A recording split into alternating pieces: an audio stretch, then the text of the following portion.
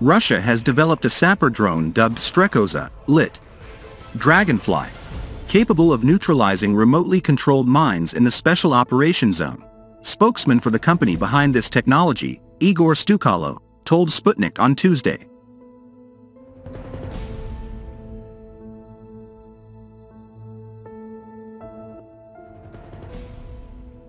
Stukalo, who serves as technical director of the defense group, UDA, said that the Russian Ministry of Defense and the Russian National Guard have already conducted tests of the Strekoza unmanned aerial vehicle, UAV, which demonstrated positive results.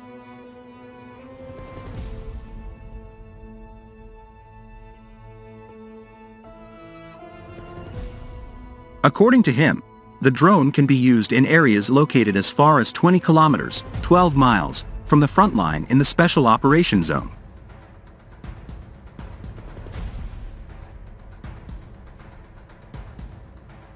Stukalo explained that if the remotely operated Strekoza detects a mine with a radio-electronic fuse, the drone, which carries a TNT block, will drop it on the target.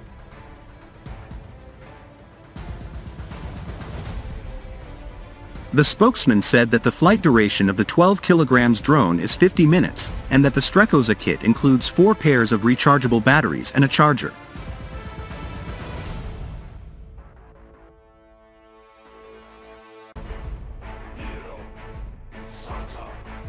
I would like to tell you about the drone-based system of detecting improvised explosive devices.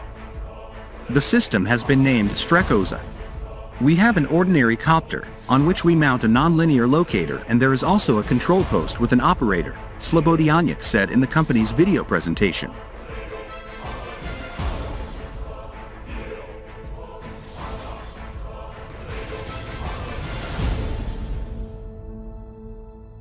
The Strekoza drone operates at an altitude of up to 30 meters. The locator enables the copter to spot suspicious objects right in the flight. The drone also carries a suspension device for attaching a TNT block. Upon detecting an improvised explosive device, an operator can place it on the object and detonate remotely.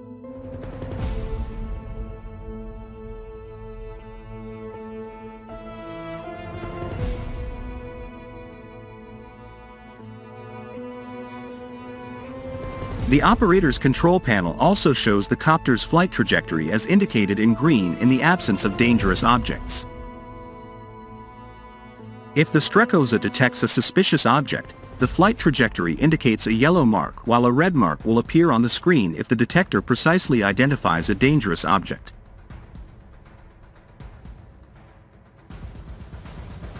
The drone is outfitted with a video camera that enables the operator to examine a dangerous object and the environment in detail from all angles.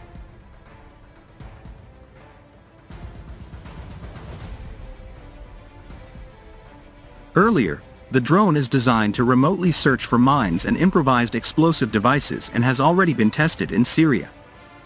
The drone is able to quickly survey a large area and identify sources of danger.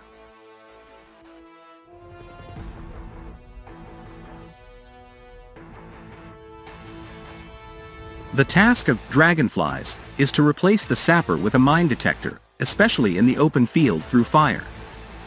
The BLA starts from the armored vehicle, in which the operator remains, and automatically scans the area methodically.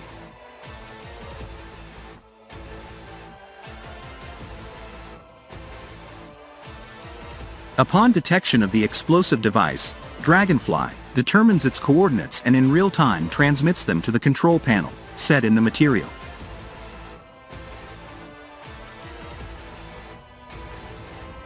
The mass of the device is 12 kilograms. It can be airborne for up to 40 minutes and carry around 2 kilogram payload.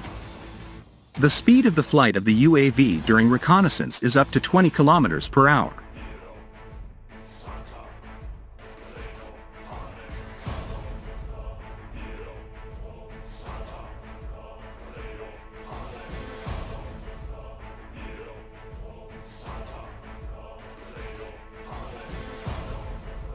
Dragonfly carries a nonlinear radar, HP900K Korshun, designed to search for controlled mine blasting devices and other technical equipment containing semiconductor components, both in the on and off state.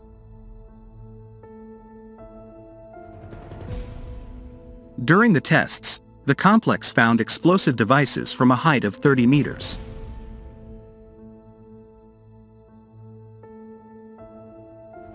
With installed on drone camera operator can inspect a suspicious object. According to experts, the use of such UAVs significantly reduces the risks to the lives of sappers and speeds up mine clearance.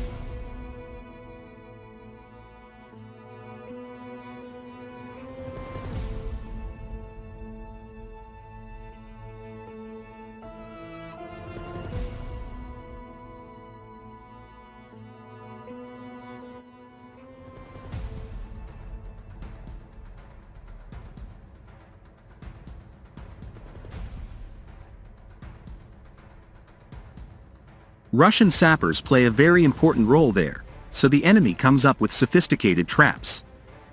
Often in Syria, the militants installed powerful landmines covered with clay and disguised as stones in an open area, and then detonated them through a radio channel.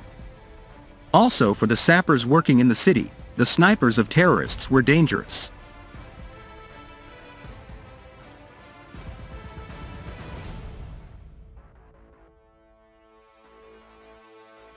The drone developed by the company is designed to detect explosive devices, including homemade ones.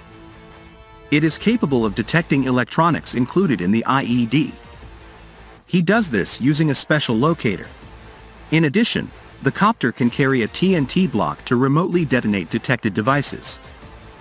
According to the developers, the complex is based on a quadcopter. It detects explosive devices from a height of up to 30 meters and can remain in the air for up to one hour.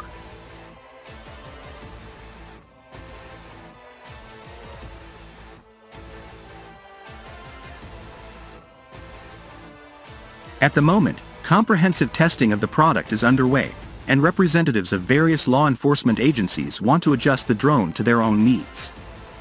In addition, work is underway to increase the flight range of the Dragonfly.